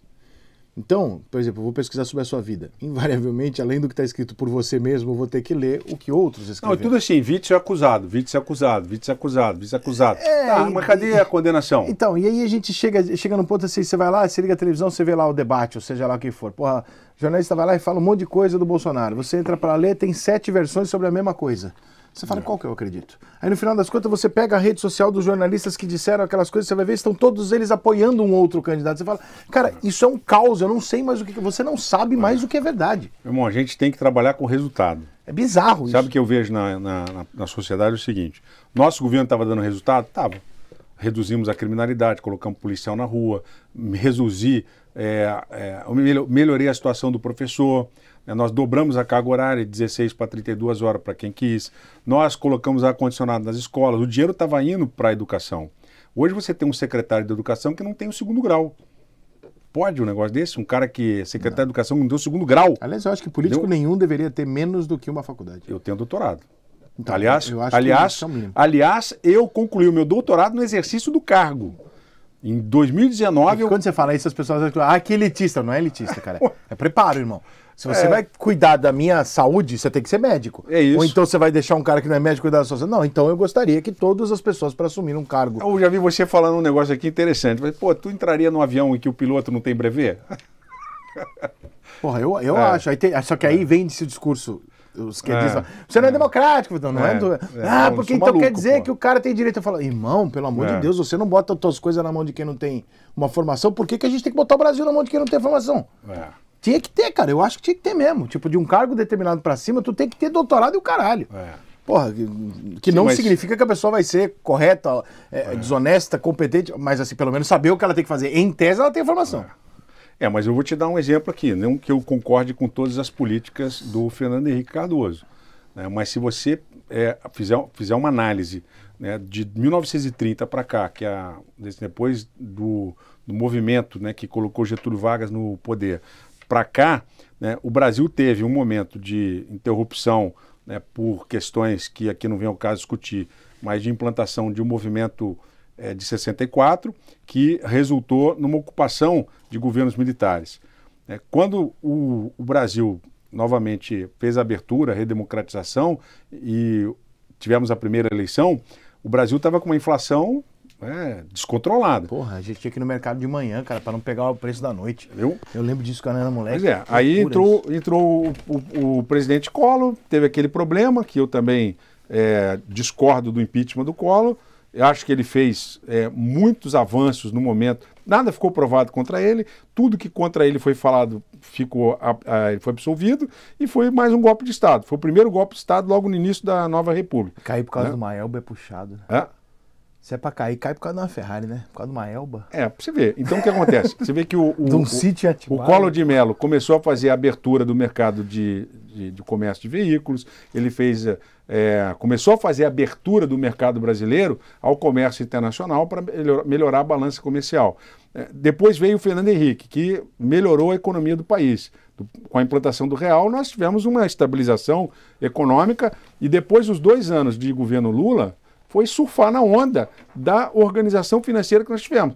O Brasil teve um crescimento por conta da venda de commodities que não foi devido a, ao a gestão do Lula. Foi a abertura da China também. Foi, exatamente. A China crescendo 15% e o Brasil se aproveitando desse momento. Enquanto a China se industrializava, o Brasil se é, mantinha na mesma é, produção agrícola e se é. desindustrializando. Então nós perdemos o trem da história em 90. Em 90 o PIB do Brasil era maior do que o PIB da China. Hoje o PIB da China é praticamente é, oito vezes o PIB do Brasil. Então a gente perdeu. Eu costumo fazer a seguinte comparação. Quantas patentes a China aprova por ano? Quase 4 mil patentes, 4 milhões de patentes por ano. 4 milhões de patentes por ano. O Brasil aprova menos patentes do que o, o estado de Mônaco. São 60 mil patentes por ano. É. Mônaco é 60, qual, qual, Principado. Qual é o problema das patentes do, do Brasil? É porque o INPI é centralizado no Rio de Janeiro. Qual a minha proposta? Cada universidade brasileira pode ser um centro de referência de patentes. Eu propus isso aqui no Rio de Janeiro para ampliar as patentes da FAPERJ. Então, eu fiz o maior financiamento de pesquisa da história do Rio de Janeiro. Então, para poder fazer com que as patentes sejam aprovadas, nós iríamos auxiliar né, os, os, os, cientistas a aprovar as suas patentes no NPI. Mas o Brasil é engessado em relação a isso. Então, nós temos vários pontos de gargalo né, que é, é, nós fomos tendo é, essa, essa dificuldade no Brasil e que o Brasil perdeu o trem da, da história. Agora, por que eu estou falando isso? O Fernando Henrique era uma pessoa né, com nível intelectual elevado e foi o presidente que conseguiu é, unir é, o, os partidos em torno de um projeto e um, economistas que conseguiram fazer com que o, o, Brasil pudesse entrar numa normalidade econômica. Então, realmente, o que você está falando é, é absolutamente correto. Né? O que a gente vê hoje na política brasileira é políticos que não estudaram. É, o que a gente percebe é o seguinte: o cara não estudou e vai ser político. Né? O cara não deu certo numa atividade profissional, ele vai ser político. Aí ele quer se dar bem na política. Ele quer ganhar fortuna na política, quer morar em mansão. Né? Cara... É aquela pessoa que hoje em dia, se a gente for transferir para a sociedade convencional, é aquela pessoa que é o seguinte: ah. ela não consegue dar muito certo na carreira dela é. Ela não consegue ganhar dinheiro, mas ela quer as coisas, a amiga tem, ela fala, é. você é digital influência. Mas qual é a sua profissão? Nenhuma, eu sou digital influência. Não, olha só, você tem que ter uma é. profissão para você é. influenciar pessoas. É ela quer direito. A política é um negócio que se eu for popularzinho e falar bem, eu entro ali um carguinho, eu vou ter um dinheiro, eu vou ganhar. Foda-se se eu estudei, se eu não estudei. Os caras, tem muita gente que leva dessa forma. E, é o assim, povo elege. E é assim né? que está acontecendo. Então a gente hoje está assistindo né, uma, uma desmoralização da política. Hoje nós não, não vemos na política discussões é, que elevam né, o, assim, a, a nossa capacidade. Você tem de... vergonha de ser político? Não, não tenho que eu tô aqui, né? Não, mas eu você... tenho vergonha do eu que tenho eu vergonha, não, política. Eu tenho vergonha de ser jornalista. É. Hoje eu tenho vergonha de ser jornalista. É, é um cargo que, que eu não me orgulho de citar, porque eu acho que a minha classe está fodida. É. Você tem hoje uma sensação de, de... Puta, que bosta quer falar que eu sou político, porque as pessoas já partem do princípio que eu... Tem essa sensação? Olha, ô, ô Rica, eu vou falar uma coisa para você. É, eu continuo morando no Grajaú, eu continuo com o meu padrão de vida, né, que eu sempre tive, é, até é, agora que eu estou me dedicando à advocacia, né, eu estou conseguindo, como empresário, como advogado, né, ter um, um, outro padrão que de que horizonte. Isso, Por que, que, você quer voltar para isso? Porque eu tenho é, ideal, eu sou uma pessoa idealista. Eu não quero viver num país em que eu não tenha feito algo para melhorar, e como algo para mudar. O que, que você acha do que está acontecendo em relação ao STF, essa polêmica toda, ou você não pode falar por causa disso? Não, assim, eu. Olha, eu acredito o seguinte, que. Eu não quero que ninguém saia preso daqui, por isso que eu te perguntei não, se não você pode sair, falar, não. entendeu? Não, eu tenho eu, respeito, eu não sei como é que é a banda. Eu tenho o ah. maior respeito pelo ministro Alexandre de Moraes, ministro Barroso, foi meu professor na Fundação Getúlio Vargas.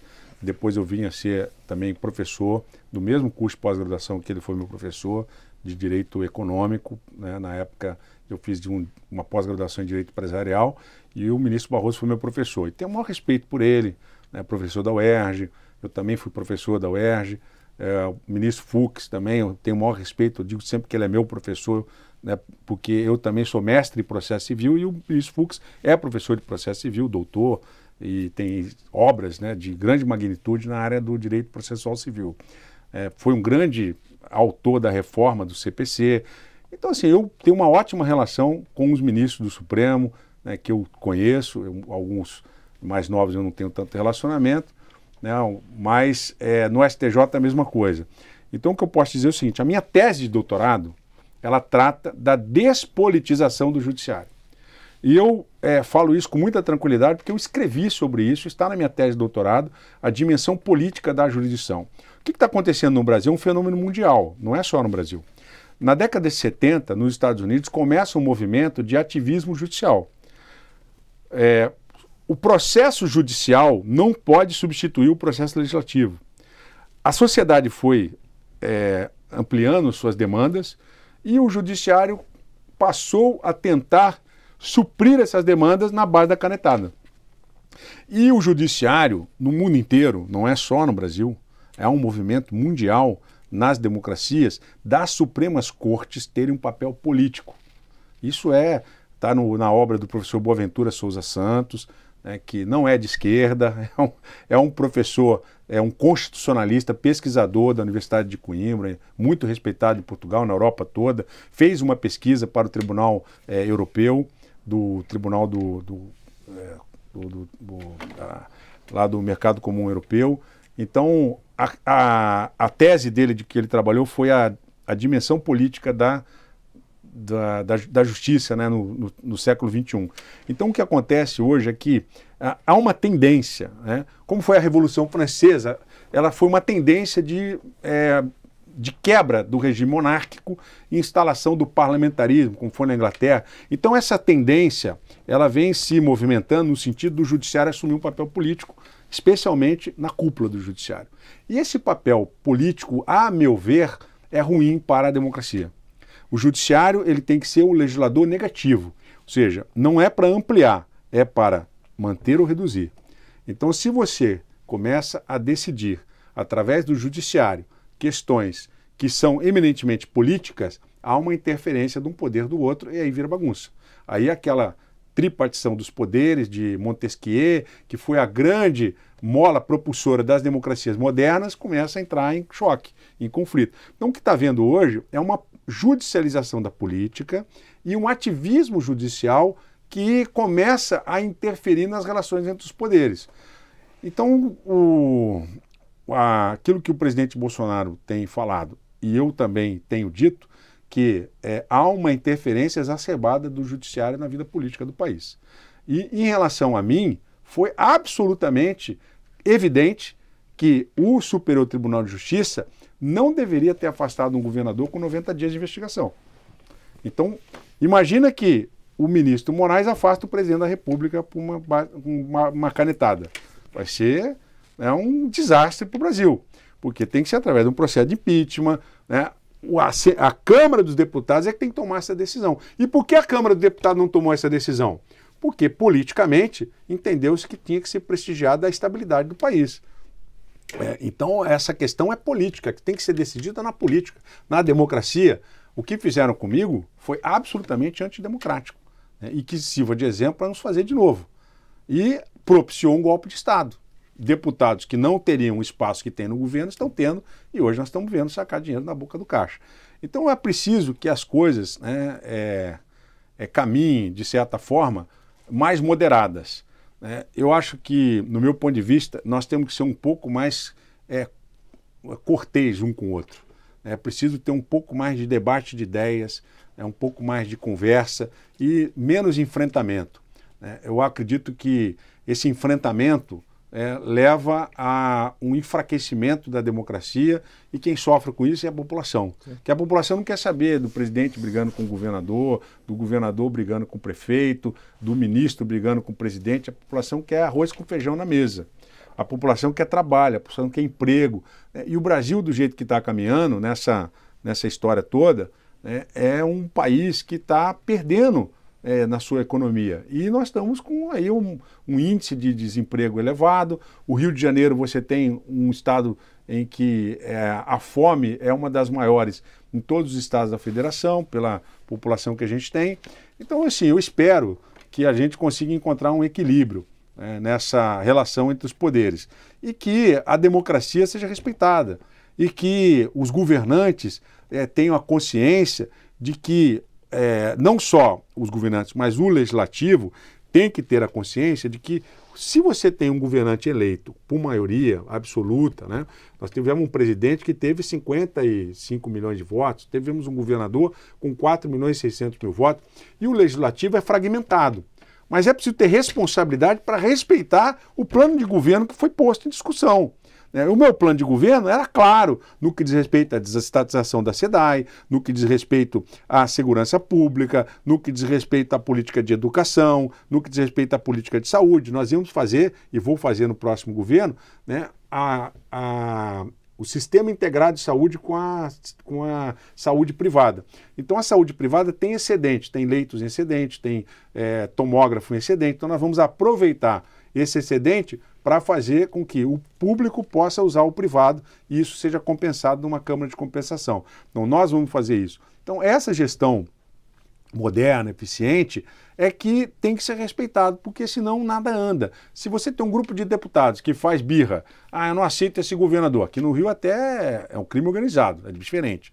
É pior do que o, o que nós estamos falando em termos de Congresso Nacional de uma diversidade cultural. Aqui é crime organizado pesado, e é um grupo. Na LERJ. É, não são todos deputados, mas tem deputado ali que é ameaçado de morte. Ó, ou você faz ou você morre. Então, o que nós estamos vivendo hoje no, no Rio de Janeiro é algo surreal. Né? E tiraram um governador né, com uma história que não se concretizou. Eu tinha 17 anos como magistrado, nunca tive um problema.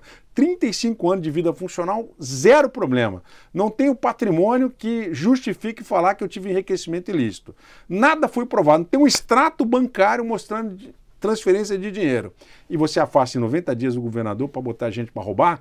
Então isso é um escárnio, é um escracho. E nós estamos novamente aqui para poder fazer a resistência contra esses atos. E eu acho que a população do Rio de Janeiro merece. Então, acho que... A Globo não vai te levar para os debates, é isso? Olha, eu espero que isso é, aconteça. Eu vá para os debates. Eu espero que a Rede Globo reveja essa, essa é, ridícula é, Quantos candidatos são na, a governo do Rio? Ah, deve ter uns sete, mais ou menos. Né? Sete? Um sete tem que deixar todo mundo falar, pô. Se vocês quiserem, a gente faz um. Tá aqui, desafio toparem, lançado aqui no Rica, a gente cara um, tapa. Dá tempo, urgente, é. mas assim, a gente pega lá o, outro estúdio, né, que a gente grava aqui maior, faz lá uma mediação, combina umas regras antes, transmite tudo ao vivo, as limpas, as claras, é, e faz com todo mundo. Ô, Rica, é aquele negócio, o cara quer falar mal de mim, o Freixo vive falando mal de mim. O Freixo vive falando mal de mim. Só que ele não apresentou absolutamente uma proposta que seja viável. E ele está me copiando. Eu falei do bilhete único da região metropolitana, agora ele lançou a ideia do bilhete único da região metropolitana. Aí eu falei que vou cobrar 10 reais, ele falou que vai cobrar 7,50.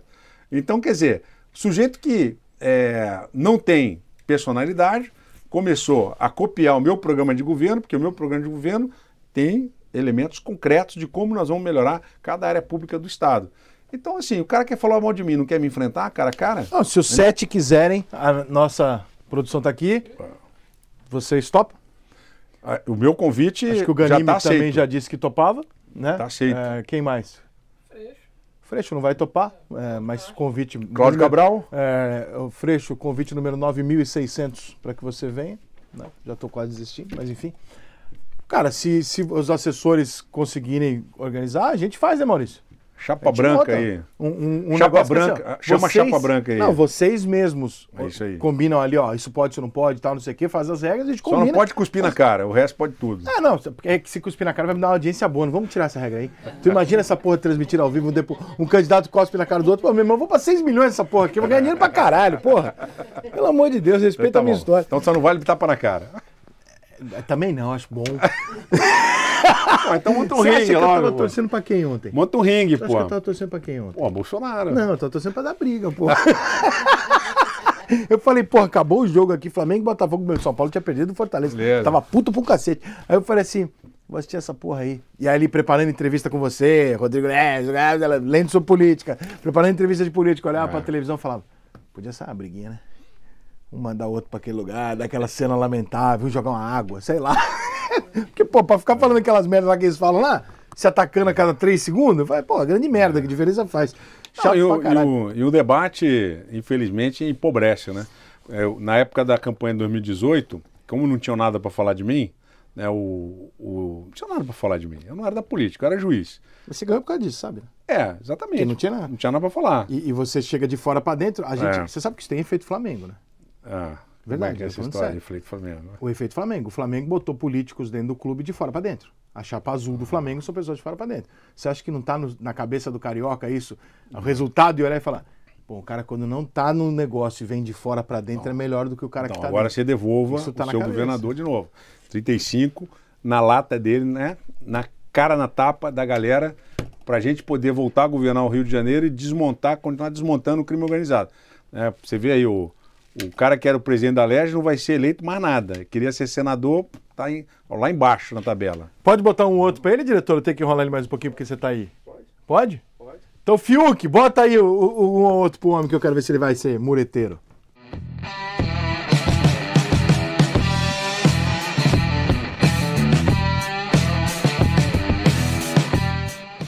Não tá? Você tá tendo vinheta? Você não tá? Já? Já voltou? Ih, desculpem.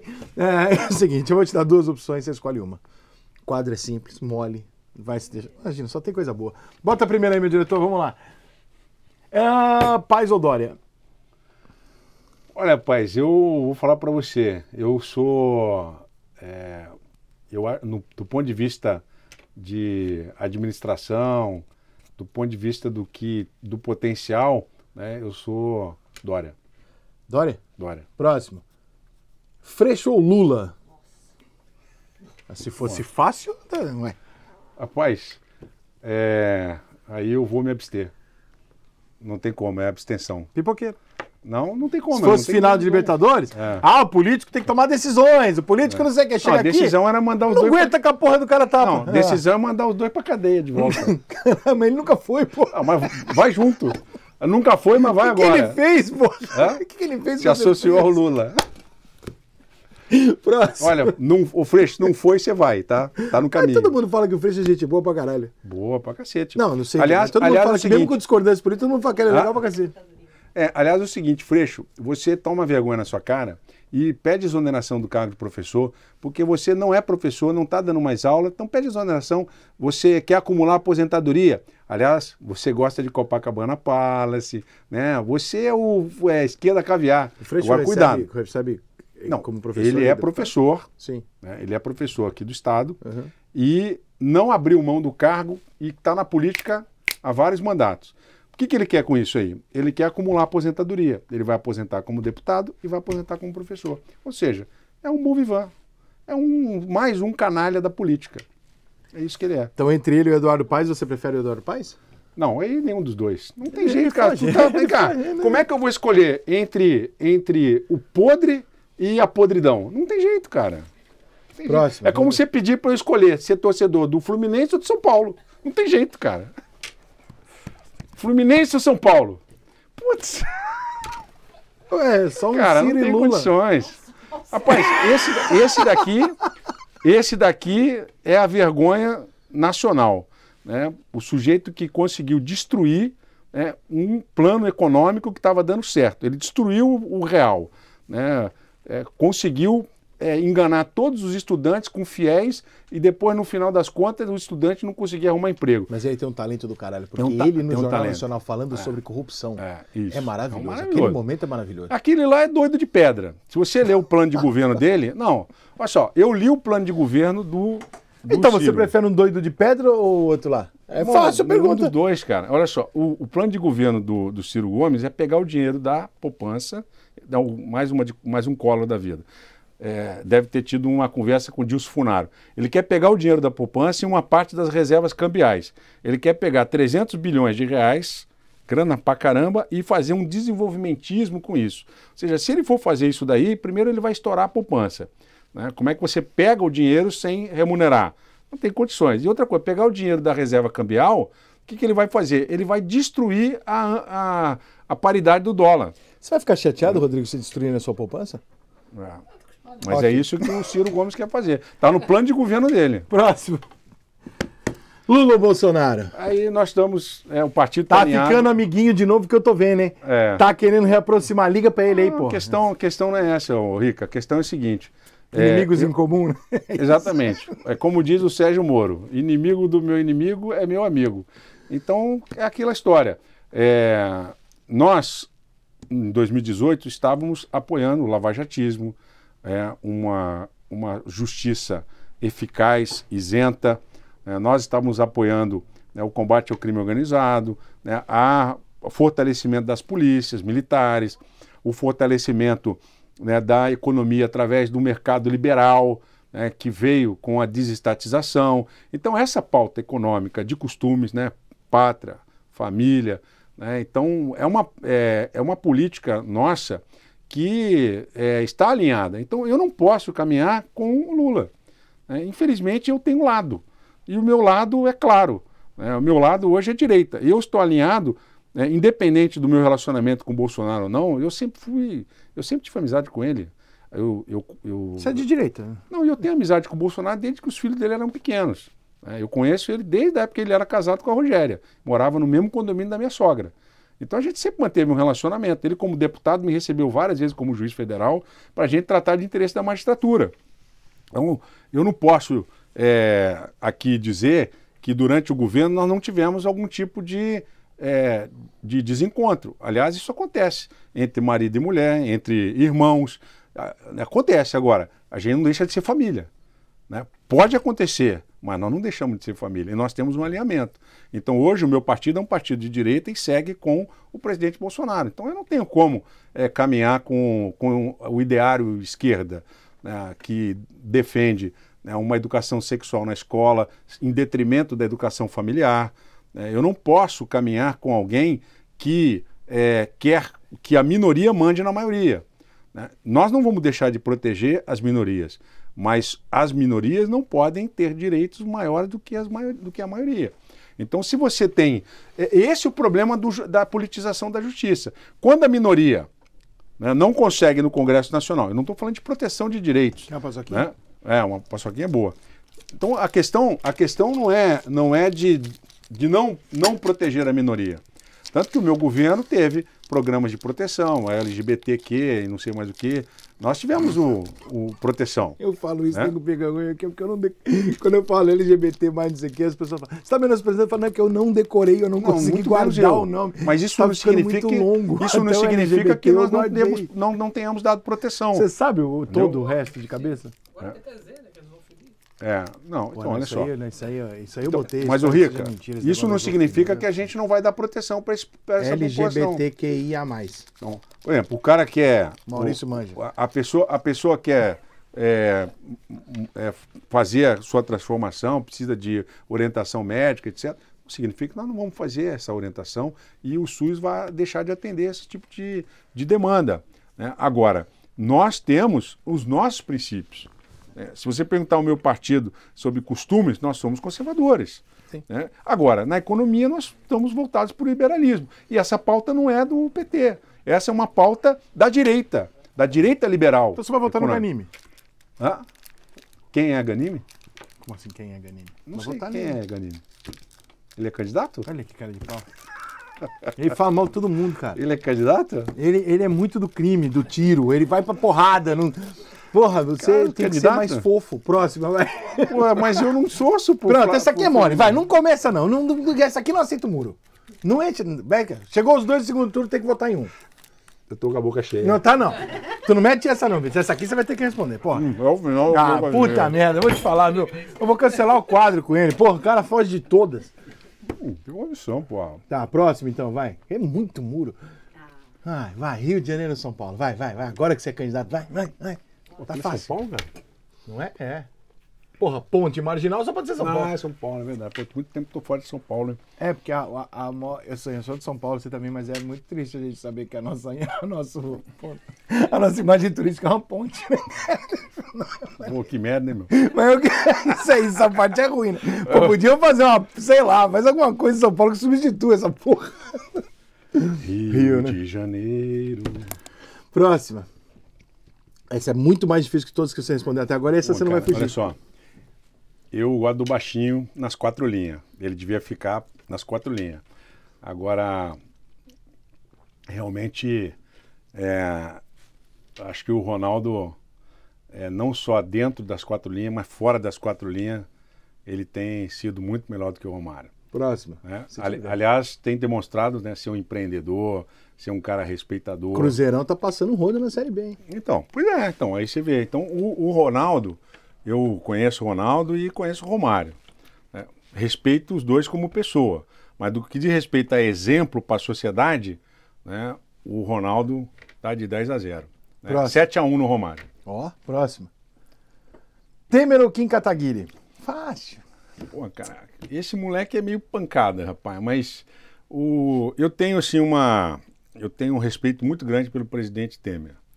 né? eu, independente do resultado do impeachment, que eu não tá muito concordo. família Adams essa foto, né? Tá É. muito ruim pra ele. É, eu, eu, sinceramente, já, já disse várias vezes que eu não sou, eu não concordo com o impeachment, da forma como tem sido feito no Brasil. Nem o da Dilma. né? Nem o da Dilma. Para mim, se tem impeachment, tem que cair todo mundo. Cai o Congresso e cai o presidente, vamos fazer eleições gerais. É igual o parlamento. Então, essa é uma coisa que tem que ser novamente repensada no país. Se tem impeachment, cai todo mundo. Cai o governo e cai o parlamento. Vamos fazer eleições gerais no país, porque alguma coisa não deu certo. Porque aí você evita golpes, golpes de pessoas abaixo. Exatamente. Então é o seguinte, vamos fazer eleição geral, como tem no parlamento. É, agora, não há dúvida de que é, a crise de 2016 foi profunda.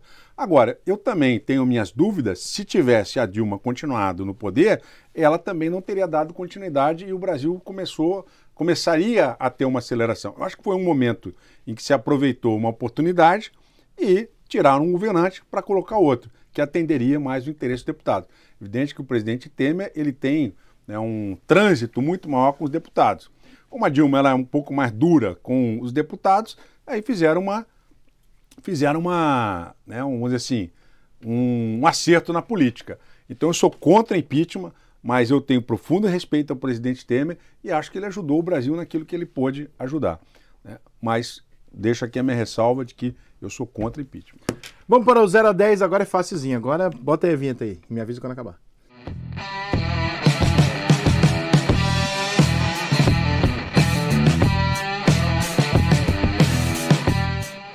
Decidir quem vai ser o governador. e o Agora é muito fácil, Vitor. Agora é a coisa mais fácil pra gente encerrar. É muito mole, rápido, tranquilo. Você vai.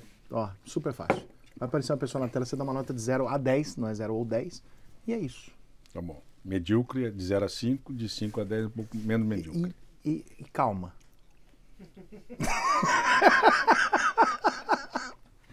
Vamos lá. Alckmin. Olha, é. Faz em, faz, faz em nota de escola de samba. Não, nota 8 para ele. Oito pontos, entendeu? Pô, Próxima. Bolsonaro. Nota 9 para ele. Próxima. Eduardo. Ah, nota 0 para esse infeliz aí. Nota 0. Você é um dos piores prefeitos da história do nosso estado. É. Próxima. Rede Globo. Nota 0. Rede Globo parcial, não está, pelo menos no Rio de Janeiro, na, no, jornal da- no Jornal Nacional chamou até a Simone Tebet, que tem 3% na pesquisa. Agora aqui no Rio de Janeiro não me chama para entrevista. né? fizeram entrevista com os três primeiro ao vivo e comigo fizeram metade do tempo e não ao vivo. Então, nota Até zero. eu entrevistei todo mundo, hein? Menos o Freixo que não quer vir, mas convidado Not- foi. Nota zero, nota zero para a Rede Globo, que infelizmente é, não está fazendo o papel que deveria fazer na democracia. Próximo. Lamentável. Lula lá. Deveria ficar aonde, aonde estava. Né? Está fazendo um desserviço ao Brasil, novamente se candidatando à presidência da República. Qual a nota? Para ele, nota zero. Próxima. Mandetta.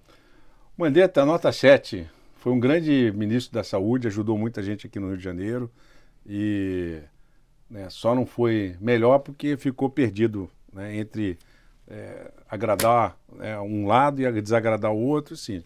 Ficou no meio do muro, né? Próxima. Marco Feliciano, vem aqui hoje, saiu antes de você. Bom, a julgar pelo que ele anda ouvindo sobre mim e não verificando a realidade dos fatos, né, pastor, nota 5 para o senhor. Ah, mas ele só falou que ouviu, não fez? Então, mas devia apurar melhor os fatos antes de ficar falando por aí. Ah, Mas ó, peraí. Fofoca. Não, não. Quem ouve o Eu já fofoca ouvi isso, de, não. fofoca? A gente já ouviu isso aqui de mais de três ou quatro. É, isso O quê? Que, que negócio da faixa de presidência a gente já ouviu mais uns três ou quatro aqui. sei. Fala assim, pô, não, porque o Vou Whitson tentar. botava a faixa de presidente e ficava andando pelo negócio e falava. Eu fiquei imaginando Cara, assim, eu devia meio estar internado então, Rica. Eu devia, eu devia ser internado no hospital psiquiátrico se eu estou fazendo esse tipo de coisa, Imagina cara. se você fosse, se tivesse essa loucura Ah. por ser o Batman. andando de Batman. Rapaz, o dia que você me vê com a camisa do tricolor, aí você pode me internar. E próximo. Sérgio Moro. Rapaz, eu sou amigo dele, gosto dele. Sérgio é uma pessoa intelectual de alto nível. Eu acho que como ministro da Justiça, ele foi atencioso com as demandas que eu levei até ele. O pacote anticrime foi um grande trabalho que ele fez. É, tinha tudo para ser um grande candidato a presidente. É, é, a, como eu, a política está com medo dele, assim como está com medo de mim. Né? Os políticos morrem de medo de mim e morrem de medo do Moro.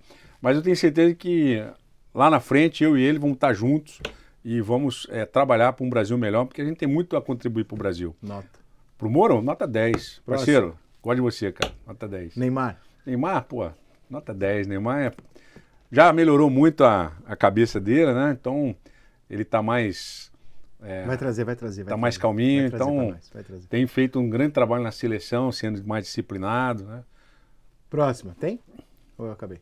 Michel Temer, já falou eu dele? Já falei, uma né? Já falei. Hã? Deixa uma notinha aí. Nota 7 para ele. Mais uma última. Tite, o técnico da seleção brasileira. Mas do nota 10. O Tite é um cara realmente que tem muita sensibilidade né, na, no trabalho que ele vem fazendo na seleção. Eu acho que ele é uma pessoa muito humano. Eu tive algumas, é, umas duas conversas com ele e a sensação que eu tenho do Tite é que ele é um baita técnico, um cara que acolhe o jogador, um cara que é tipo o paizão, o paizão como é o nome do Renato? Não, que foi treinador de São Paulo, pô, ganhou tudo Muricy. quanto é. Muricy. Não, antes o Tele Santana. Santana.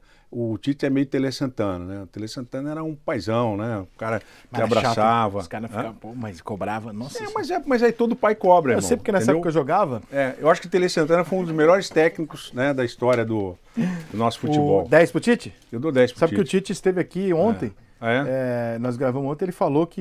Ele vota no Rio agora, né? Porque ele mora no É. Rio de Janeiro. Ele falou que o Freixo é o único candidato no Rio de Janeiro que tem alguma condição de receber o voto dele. É. Vai mudar a nota, né? eu tô- Mentira, ele tá inventando só pra ver se tu mudar. Tô- Eu nem vejo. É esse, cara, pelo amor de Deus. Pô, Gente, Tite obrigado bota pela 35, audiência. cara. Vitor, obrigado por ter vindo, obrigado, Obrigado, pelos cara. esclarecimentos, Ah, a resposta, tá? Eu te espero abençoe, que cara. eu espero que o seu Flamengo passe pelo meu São Paulo com um zerozinho, um zero, meia zero, sei lá, não precisa bater duas vezes forte. É o jogo né? de volta agora, né? É, não, nem tem volta. Eu, eu nem viria. Se eu fosse São Paulo, eu acho que eu nem A volta viria. dos que não foram, né? Eu nem viria. Eu assim, eu vou mandar uns meninos aí, vocês batem de pouco, porque, pô, 3x1 no Morumbi vai virar aqui. É. Mas vai que, né? Futebol é futebol.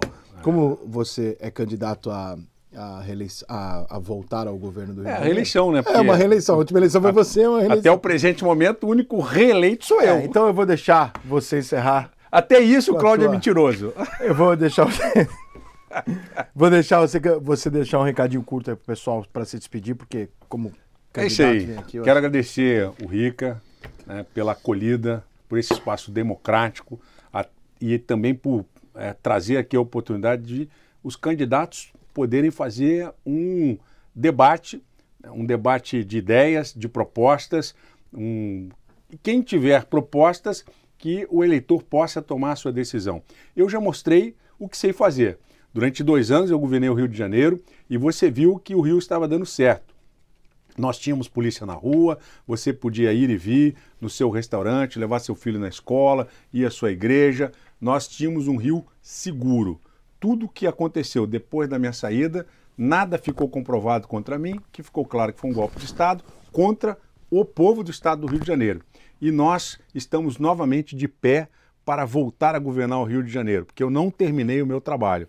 Eu quero terminar o meu trabalho, resta estabelecer né, um transporte de qualidade para a população da região metropolitana e de todo o estado do Rio de Janeiro, inclusive, e queremos gerar emprego através do Banco de Desenvolvimento do Estado. Vamos conseguir gerar, nos próximos quatro anos, 200 mil novos empregos. E você que quer abrir uma padaria, você quer abrir né, um, um, um restaurante, quer abrir um, um salão de cabeleireiro, quer montar uma pequena indústria, ou quer montar uma indústria de um bilhão de reais, nós vamos captar no mercado financeiro através do Banco de Desenvolvimento do Estado. Então eu tenho programas, eu tenho propostas, eu tenho ideias, eu estudei para ser governador. Né? Então nós queremos fazer o melhor para as nossas futuras gerações. E é por isso que eu estou na política, porque eu sou uma pessoa idealista. Então se você está vendo que houve né, uma, uma, um golpe de Estado, nada contra mim foi provado, no dia 2 de outubro você vai votar 35, porque É através do seu voto que nós vamos cuspir na cara da política suja e nojenta que tanto mal tem feito ao estado do Rio de Janeiro. No dia 2 de outubro, de outubro 35, para mostrar para essa bandidagem, para esse crime organizado, que quem manda aqui somos nós, o povo do estado do Rio de Janeiro. Chupa pica-pau. Tchau.